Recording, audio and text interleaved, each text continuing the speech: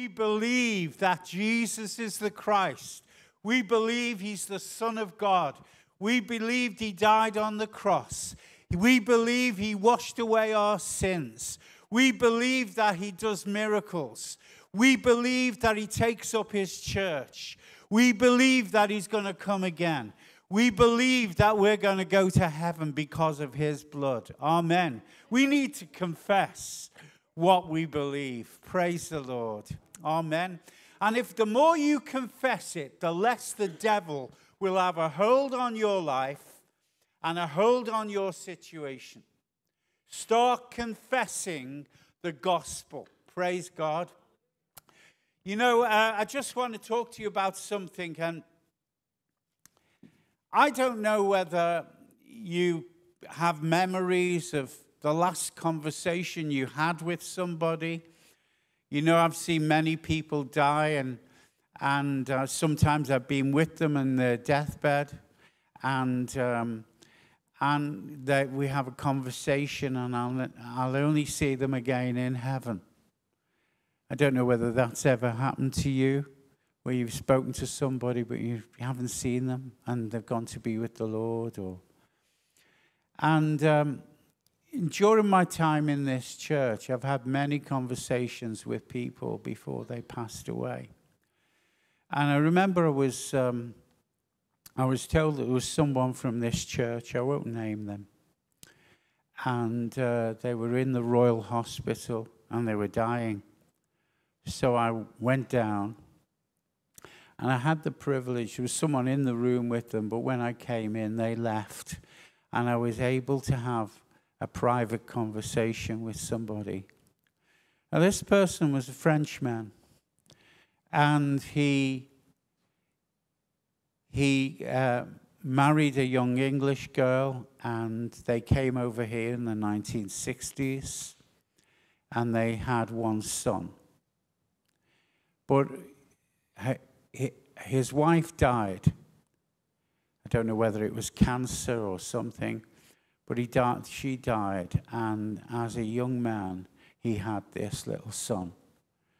He only ever had one job. He worked in a French restaurant as a waiter. And um, then the 70s went past, and, and then the beginning of the 80s, his, his son joined the army, and he was killed in the Falklands War. So all he had was being a waiter in a French restaurant. And um, and then there was a takeover somewhere in the 90s. And uh, they didn't want the French restaurant anymore. They wanted to do something else. And it was a new owner. And they just got rid of him.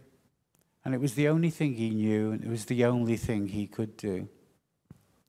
And his life just went from rack and ruin. I actually went to visit him in, in his uh, flat and I have to say, it was the nearest thing to a vagrant's house that I've ever been in. He was living in terrible conditions. Anyway, he came to this church, and um, I had the privilege of seeing him on his deathbed. He was late 60s then. And he called me over. He said, I want to tell you something, Pastor.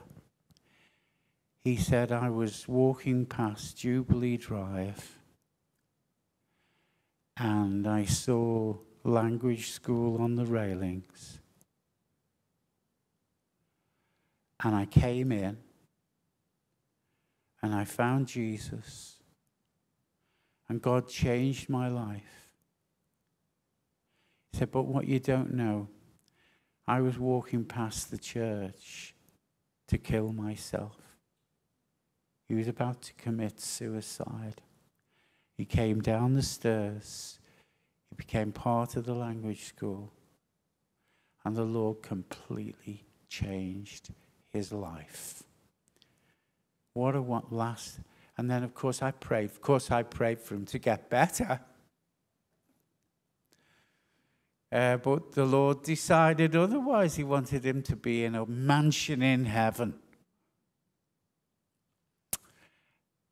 And that was the last conversation I had with him. And there have been many people like that. I want to talk to you about the last conversation Jesus had with his disciples. So let's read Mark chapter 16, verses 15 to 19. It should go up on here. It does help people who can't understand English to be able to read it. So if you can get it up, that would be great. Mark 16, verse 15. And he said to them, Go into all the world and preach the gospel to every creature. He who believes and is baptized will be saved, but he who does not believe will be condemned. And these signs will follow those who believe. In my name they will cast out demons. They will speak with new tongues. They will take up serpents. And if they drink anything deadly, it will by no means hurt them.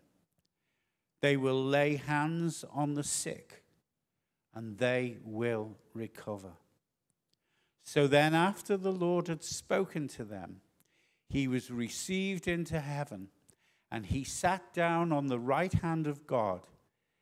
And they went out and preached everywhere, the Lord working with them and confirming the word through accompanying signs.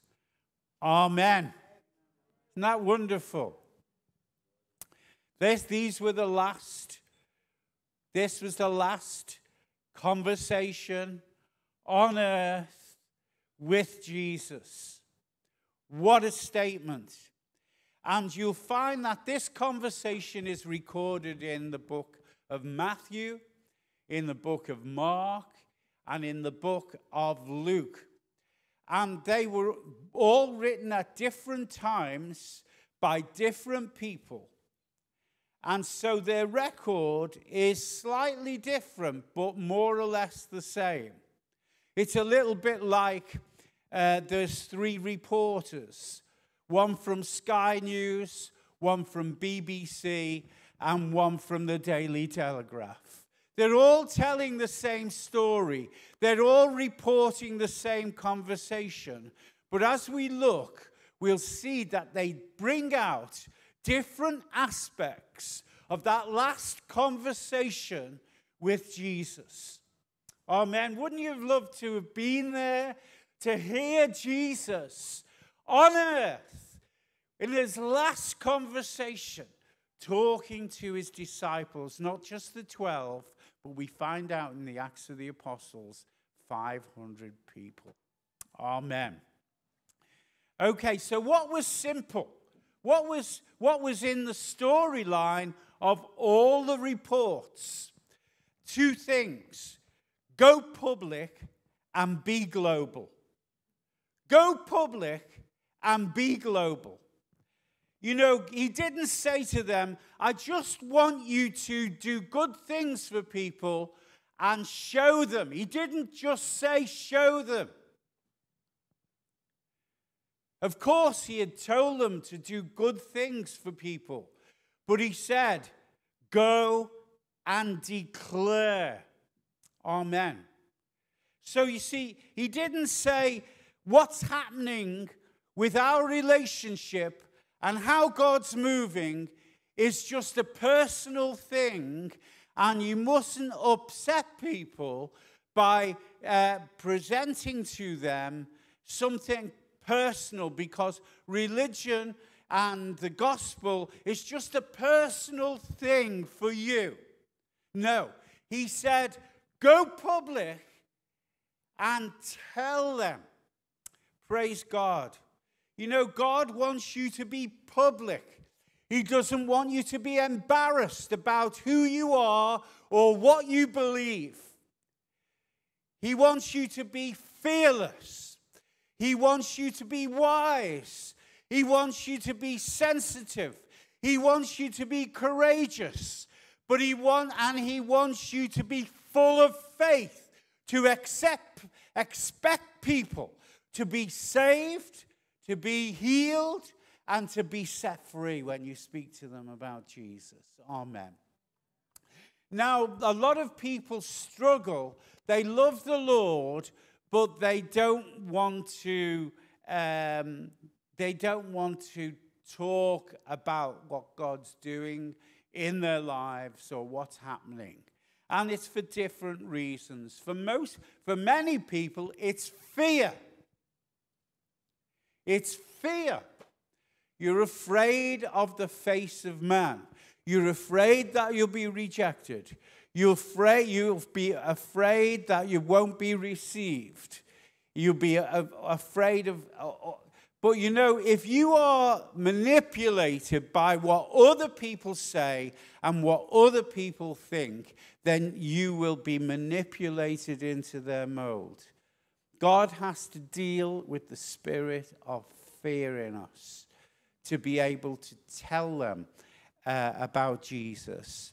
And then the other people uh, don't, don't speak about God because they don't know what to say.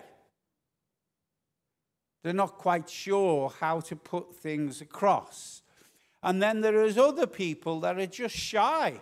It wouldn't matter if you were talking about um, you know, if someone said, Will you go and sell Maltesers on the door? You'd still struggle. There's some people who actually don't like talking to people. And there are some people who don't know how to talk to people. And so, you know, if you're shy and you don't interact or, or you don't know or you're just unfriendly. Some people are just unfriendly people. You don't talk to anybody. I think of Scrooge in Christmas Carol. You know what I mean? So this two things has to happen. You to deal with the fear factor, you need to be baptized in the Holy Spirit. Unless you're baptized in the Holy Spirit, you will always suffer from the fear of man. And if you struggle in the area of talking to people, or for one reason or another, the Holy Spirit can baptize you and shed abroad the love of God in your heart by the Holy Spirit. Now, if God fills you with the Holy Spirit, you'll find one, you'll have courage. And number two, uh, you'll find it easier to talk to people because He'll shed the love of God in your heart abroad by the Holy Spirit. And there's a lot of wonderful Christians who are filled with the Holy Spirit, but they're not able to talk to people in the right way because their, their religion and their relationship with God centers around themselves. But there is a baptism of love that comes from the Holy Spirit, where the love of God is shed abroad in your heart for people. Now, when that happens, you won't have a problem be with clicks. A lot of people talk to people, but they only talk to people like them. They only talk to people that are of certain education. They only talk to people of a certain class. They only talk to people, uh, but and this, they don't want to be talking to people who are a pest or are difficult or have problems. They just want to talk to people who've got it all together in, and, and, and you can communicate well with. They, but you know, when the love of God fills your heart, you can you can talk to a prince and you can talk to a pauper. You can talk to somebody who is mentally struggling and is a, a, a difficult person to relate to. And you can talk to people who, who's really, you know, got five, five degrees. You know, if you're a working class socialist, you might struggle to talk to rich people. You need the love of God in your heart to love rich people. And if you're from a middle class background and you don't want to be associating with these difficult people, you need the love of God in your heart to wash away that prejudice or your own race. I only want to be with my own race. Well, you need the love of God to be shed abroad in your heart by the Holy Ghost. So if you're a black person, you love white people. And if you're a white person, you love black people. There's no room for hate. So before we even talk about the message, God equips the vessel. Amen.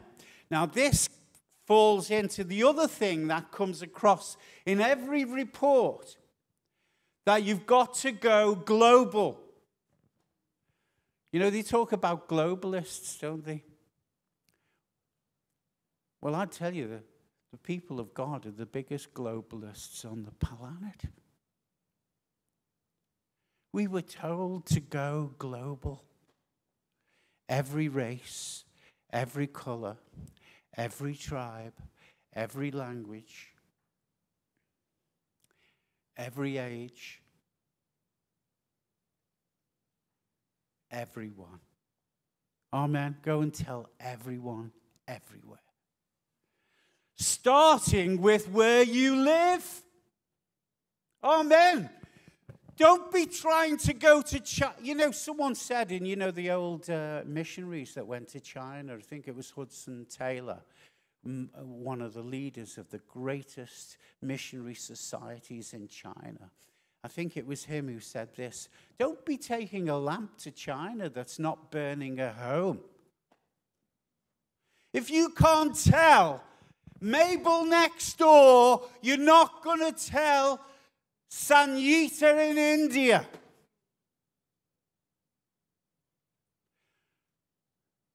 Flesh out this command where you live. I remember Billy Graham, first seeing Billy Graham, I was 21. I was in a youth meeting, a big youth meeting, and he walked through the door. I'll never forget what he said. There's a reason that God caused you to be born in England. And I thought, yeah. Because I thought you only got called with the gospel if you were sent somewhere abroad. But you're here. Maybe you've just come. But while you're here, tell everybody. Amen. But don't. A lot of people, if they're as fruitless in China as they're fruitless here. Because you need to be filled with the Holy Spirit and you need to be filled with the with the love of God. The love of God has got to be shed abroad in your heart by the Holy Spirit so that when you're talking to people, they feel loved by God. Amen. Even if they, you're saying stuff that they don't agree with, they still feel loved by God. Amen. Okay.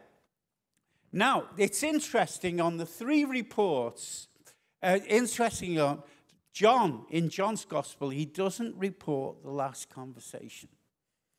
Matthew, Mark, and Luke do. So I'm going to, but they all say slightly different things. So between the three of them, we can get an idea of everything Jesus said. Amen. Hands up if you'd like to know what everything Jesus said. Some of you are not so sure. Okay.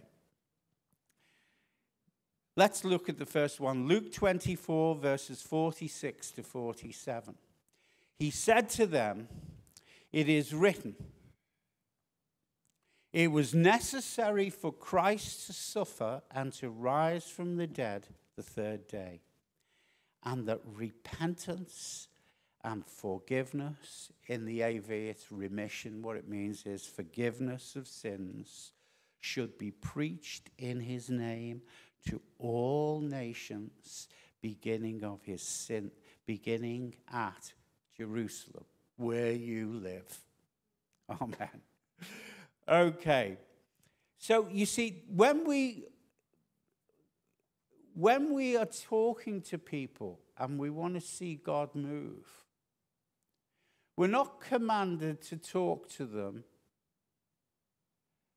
about our denomination. Now, there's nothing wrong in speaking about I go to City Church and it's a great place, and it can be helpful because you need to bring them into the community of God. But if your message is your denomination, there's something wrong.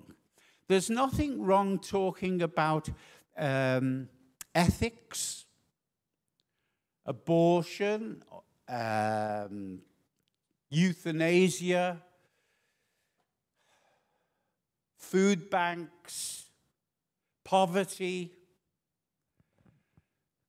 You know, it's nothing wrong in talking about that, but we are not called to go into all the world to talk about ethics. We're not called into the world to talk about politics. Now, there's nothing wrong in saying, well, I think that this person uh, who's up for election is being sent by God to this city. There's nothing wrong in saying that, and the, the people might disagree with you. There's nothing wrong. But we are not to be people whose mainstream message is political.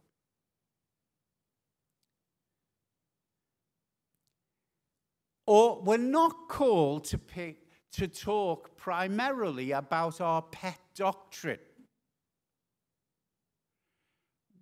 I don't know, it might be finance, it might be prosperity, it might be uh, the structure of the church, it might be the deeper meanings of the Jewish context of Scripture. That's not what we're commanded to do. There's nothing wrong in talking about it. I spoke this last two weeks on the power of the tongue.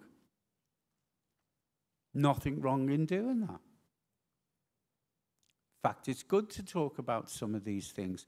But our mainstream message has to be this. And this is very rarely pre- this is very rarely talked about on a week by week basis.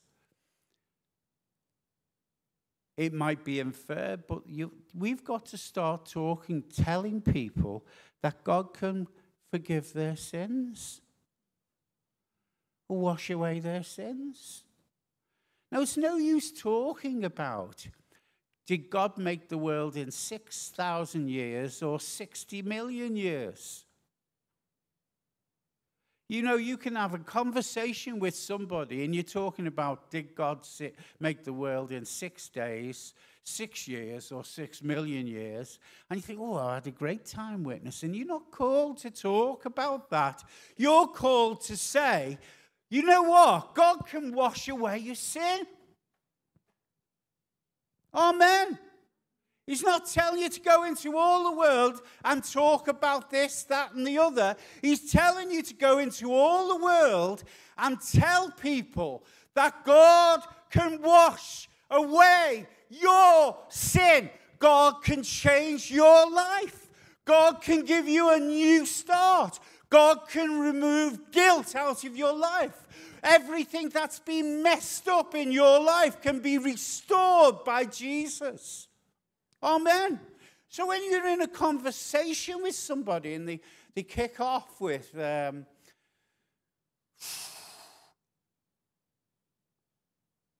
I, do, I, do, I, I, I don't think we should be taking the vaccine. Don't get into it. Just say, Well, I'd like to tell you about this. Amen. Can talk about the other later. I want to tell you about this. Jesus died on the cross, and do you know what? He can wash away your sin. Someone said, Oh, well, uh, I was second coming or whatever. I, is he coming before, after, then, or this. Just say, yeah, well, I'm still working on that. But you know what I can tell you is this Jesus washes away our sin. Jesus can forgive you for your sin. Jesus can change your life. Jesus can make all the damage, rem- remove all the damage. Jesus can give you a new start. Jesus has got a new plan for your life. That's the gospel. And until you start having conversations like that, you're not going to see people saved, healed, delivered, or transformed. Amen. That's what he told them to do. Just tell them about repentance, what he's talking about there. That God can turn your life around 180 degrees. They know, most people know. Do you know what? Uh, the way my life's been going, I, I'm, I'm seem to go beyond course for hell. Well, you can tell them, you know what? If you ask Jesus to come into your life, he can turn it right round so everything that was being destroyed can be rebuilt. You just tell them that. Don't you use your, take your energy and use all the stuff. Obviously, answer people's questions if, they are, if you can, but really just, uh, just say, I can talk to you a bit more about that, but this is the starting point. Amen. This is what we were told to do. This is why churches don't see people saved, healed, or delivered because this isn't their primary message. Now, there is a place, let's have a look at uh, the next passage, which is very interesting. Matthew, he's reporting on the last conversation. Matthew 28, verses 18 and 19. Jesus came and spoke to them, saying, All authority has been given to me in heaven and on earth. Go, therefore, making disciples of all nations, baptizing them in the name of the Father and of the Son and of the Holy Spirit. So, in this conversation, wasn't just God wants to wash away your sin. It wasn't just repentance. He said, Go into all the world and disciple, teach, equip, develop, model. You, you see this in the con- last conversation that the Gospel of John records his last conversation that John records is by the Lake Galilee, where they'd fished all night and caught nothing, which I spoke on last week. What I didn't tell you is what Jesus actually said to them. What he said to Peter was this Feed my sheep, tend my lambs. Amen. So, some of us will be called to feed the flock of God. Now, in that teaching, or bigger issues might be discussed. Because God doesn't just want to save people, He wants to transform people. Amen. And you need to come to where the community of God is and feed on the word. You know, these, these, these Bible studies we're having about the Acts of the Apostles.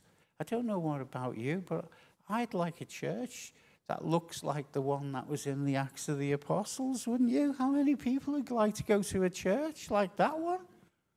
With 3,000 people got saved in one day. I don't know what we'd do here. We'd have to have an open air meeting, I think. I just want to pick up in this because I think Mark is my favorite report, okay? Out of the reporters reporting the last conversation, this is the favorite one that I like because it fits with my gift mix. This fits, fits with my gift mix. So I, I like this one. Um, Mark 16, 15 to 18. Go into all the world and preach the gospel to every creature. And he who believes and is baptized will be saved, but he who does not believe will be condemned. These signs will follow those who believe. In my name they'll cast out demons, they will speak with new tongues, they will take up serpents, and if they drink anything deadly, it will by no means hurt them. And they will lay hands on the sick, and they will recover. Amen. Go into all the world and preach. This is slightly different uh, to Matthew, who says, Go into the world and make disciples. He's saying, Preach. What does he mean by this? Declare things. Declare things. Amen. You see, you not only got to tell people, you've got to declare things. Christian, we got to start declaring things. If you're counseling somebody, if you're a natural counselor, there's a thing called non directive counseling and directive counseling. Well, Christian counseling is directive counseling. It's actually saying there is, a, there is an answer to this, and it's this. Uh, in the world, they have non directive counseling. It, I'm not, I'm not uh, knocking it down. But it goes like this How do you feel about that? What do you think about that? Perhaps you should consider this. Perhaps you should consider that. These are the options open to you. We've found this. There's nothing wrong with that type of counseling. But the counseling in, in, in the Bible is this the Bible says this Jesus wants to do this. Will you let him do that? Amen. Do you see the difference?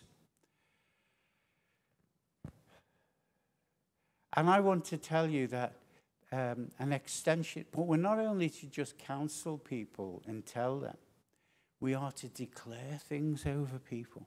Declare things over people. If you'd have been at the Bible study last on Wednesday, you would realize that we were declaring good things over one another. I declare fruitfulness over you. I declare fruitfulness over you. And that fruit will remain. Amen. I declare, declare healing over you. I declare deliverance over you. Declare, preach. That's what it means. Declaring things, declaring good things, declaring good news over people. I declare a job for you. Go into all the world and speak good things over people. Speak good news over people. I'm not so sure whether he, you've got the authority to declare that Liverpool are going to win the league. But God, the Holy Spirit, put things in you and you've got to declare it. I declare Kensington belongs to the Lord. Amen. I declare my children will not be held by the devil, but they be released to the kingdom of God. Amen. Preach. Declare. You can declare it with a loud voice. You know, there, there were people in the Bible who declared things with a loud voice, and they were called heralds. Amen. And that hark, the herald, angels sing glory to the newborn king. I'm all right doing this because I've got this in front of me. Okay. Amen. Declare things. preach the gospel to every creature, every creature. Children, women, men, families, white people, black people, Chinese people, every race, every language, South American people. Better not leave you out. Amen. Declare it. And every people group on the face of the earth, they're all of the same blood. They're all of the same humanity. They're all of the same value.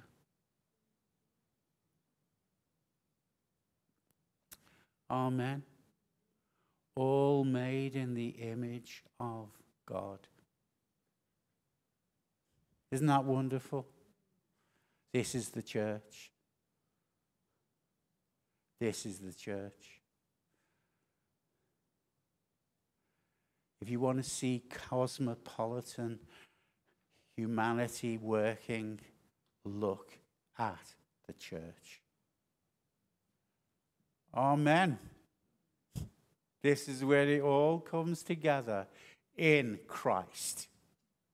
And it cannot come together any other way. Amen. Every creature. You know, if you were a Jew,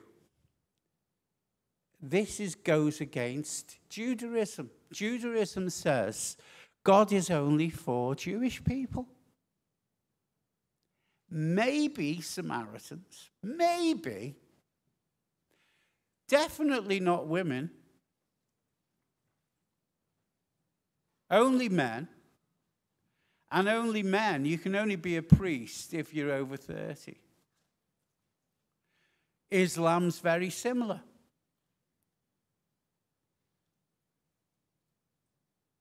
That was the Old Testament. But in the New Testament and in the gospel and in Jesus, God uses women, He uses children, He uses every race, every gender. Amen. Praise God. Praise God. You say, Well, I'm only three. God can't use me while I'm three. Try telling that to the prophet Samuel. I'm only eight. Try telling that to the prophet Jeremiah. I'm 80. Try telling that to Moses. I'm a woman. Try telling that to Lydia or the woman of Samaria or the women that financed Jesus' ministry, or Mary Magdalene. Amen. But I, I, I'm not British. Try telling that. to Simon of Cyrene. But I'm, I'm, uh, I, I'm a Gentile. Try telling that to Cornelius. The disciples couldn't get their head around everybody, particularly Peter.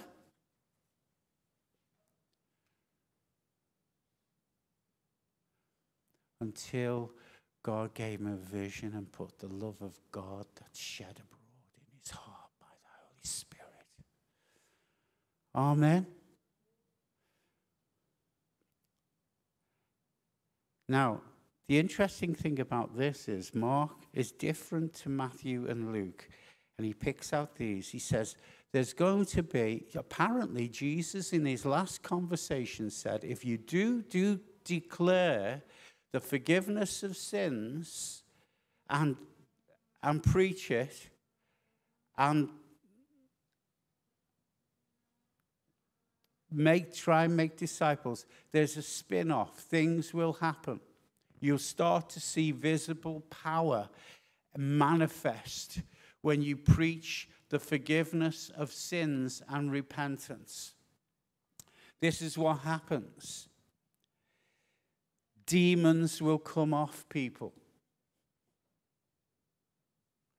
You, you're not talking about demons, you're talking about Jesus setting people free and changing their lives, and things will come off people. If they're clairvoyants in Ephesus, demons will come off people.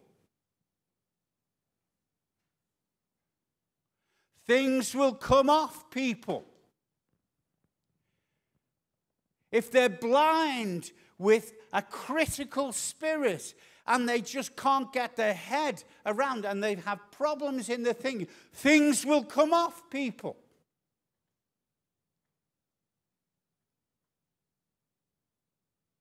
If they're struggling with their gender, things will come off people so they'll stop troubling, being troubled. And then you could get into trouble conversion therapy. But just keep stuck on Jesus washes away the sins. Don't get into the thing. Amen? But don't be surprised, things will come off people. Cast out devils. We've got to be very careful in our politically correct society. We've got to have real wisdom. But I, I, I've, I've commanded a spirit of death to come off people. Spirit of infirmity to come off people. A spirit of poverty to come off people. Amen. This gospel's powerful. That's what Mark's saying. It's powerful. Jesus said it's powerful. When you preach the forgiveness of sins and repentance, things are going to come off people. And then he says, and you'll speak in new tongues, foreign languages. I've told you about my friend who's on the with her other friend. She's still alive now. She must be about 80, 90. She's a young nurse. And her friend looks as if she's dying. So and it, she's almost going delirious. So she starts speaking in tongues. The woman who's dying flicks up in bed and looks at her and says, Helen, did you realize what you've just said to me? She didn't have a clue. She's just speaking in tongues. She doesn't know what she's saying. Well, she said, Helen, I'm Welsh. You've just told me in perfect Welsh that I need to sort my life out before God. She's instantly healed. New tongues.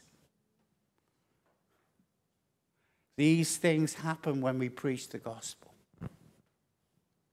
Take up serpents.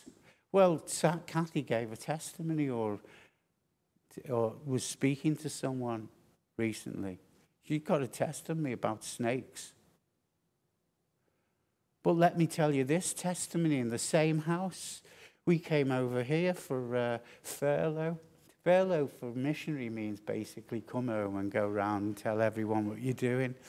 And we came home, and my friend from Ireland, um, Joe, took over our house. Now our house is full of snakes. And he, he told me once when we were back in Ireland, he said, Do you know what? I was in your bed, he said. And I'll just tell you this, he said, I jumped out. Jumped out of bed early in the morning. And I stood on a snake. And guess what? It didn't hurt him, just slithered away. And they drink any deadly thing. We were in Malawi, we were in um, Kenya, in Mombasa, in the middle of nowhere. There's mosquitoes everywhere. The water was.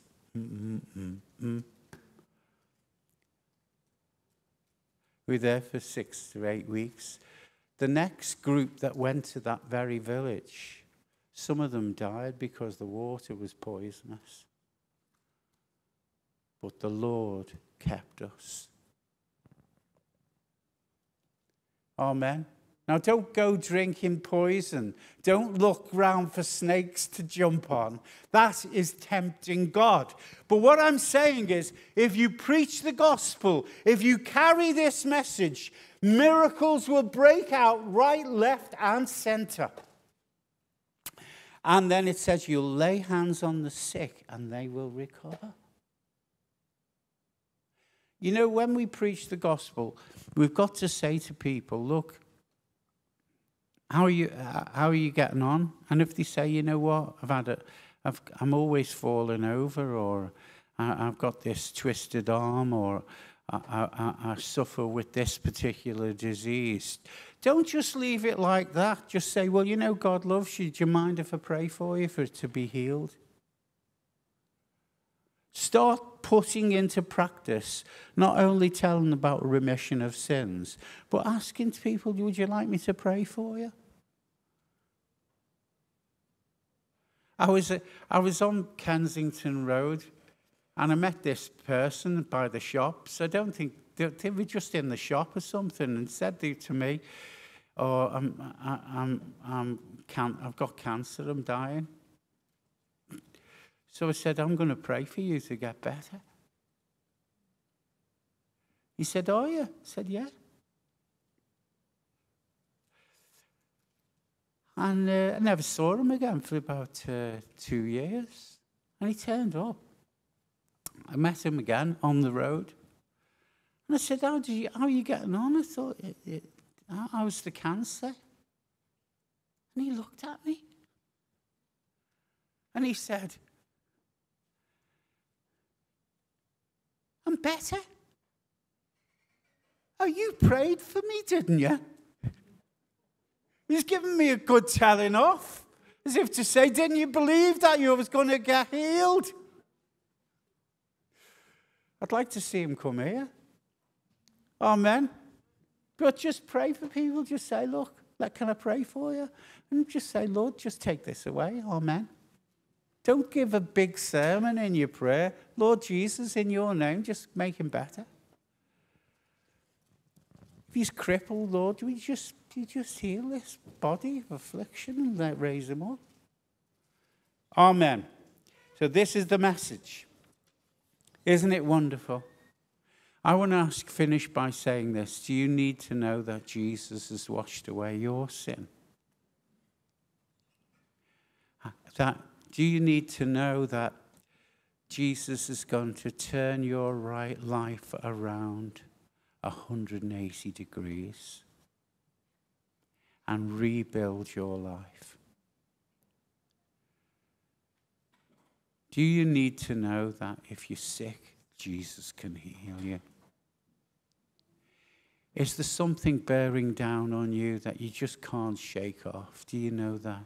In Jesus there's freedom, and who the Lord sets free will be free indeed. You might have a snake biting at your heels, not, not literally, but something that is like afflicting you all the time. Jesus can cut off its head. You might have been fed poison of bitterness and drinking from the, uh, the, the well of disappointment. And it's damaged your soul. Well, Jesus can pour in living water into your spirit and give you a clear heart. Let's pray. Father, we just love you and we thank you that you died on the cross for us. We ask you to be our Savior.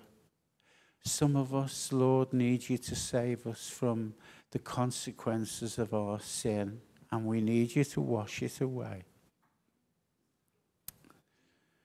Some of us need you to turn our life around 180 degrees from the path of destruction to the path of eternal life. Some of us, Lord, need you to heal our bodies. And some of us, Lord, need you to purify our spirit. And some of us need you to heal our wounded mind. And some of us need you to release us from things that are bearing down on us and destroying us. Lift your hands to God. Can you lift your hand to God like that? Say this prayer after me. Dear Lord, I thank you that you died on the cross, that you are my Savior I open my life to you. I ask the power of the gospel will go right through my life and let me be a carrier of the good news to everybody in my country and all the world. In Jesus' name. Amen. We're going to sing our last song, and it's a song where we just love the Lord. And you know, he who's been delivered from most, it says, loves the most. Amen. So count your blessings as you worship the Lord with this song, and let's give him thanks. Shall we stand? Let's stand, shall we? as you go out uh, after this, there's um, the offering baskets are, are on the end of the rows if you would like to give.